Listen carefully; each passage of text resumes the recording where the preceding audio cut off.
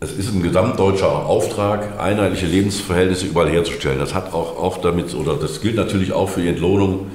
Äh, für, für gleiche Arbeit muss es gleiches Geld geben. Aber dafür müssen wir in Ostdeutschland oder müssen wir in den neuen Ländern die Wertschöpfungstiefe, die Wertschöpfungsintensität verbreitern. Und das schaffen wir nicht, indem wir Behörden neu ansiedeln, indem wir ähm, nur auf Logistik setzen. Wir brauchen Industrieansiedlungen, die die Zukunft gestalten. Das ist auch nicht das Zusammenschrauben von Batterien, sondern das ist in meinen Augen gerade zum Beispiel das Feld Künstliche Intelligenz.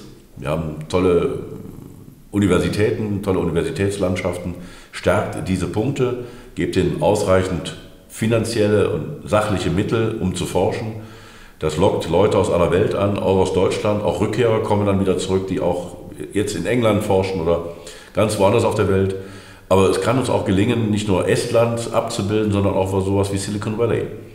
Wir dürfen halt, äh, wir müssen eine Einladung aussprechen an Freelancer, an Coworking Spaces. Das muss alles normal sein und nicht bekämpft werden. Ich glaube, das sind Botschaften, die die Welt von uns hören muss.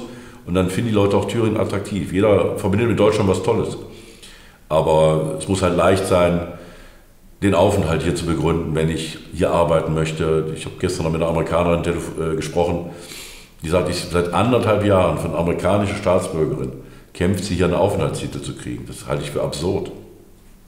Und sie ist, sie ist selbstständig. Sie, sie will keinem auf der Tasche liegen. Sie will nur gesichert hier bleiben dürfen, damit sie weiß, ich kann mehr und mehr in mein Business investieren. Das ist auch für Banken entscheidend, dass sie Geld geben können.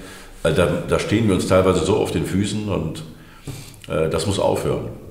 Die Leute, die von außen kommen, wenn sie mit dem festen Willen kommen und wir auch sie einladen, dann sind sie für uns alle eine Bereicherung. Und da haben wir teilweise auch noch das falsche Setup.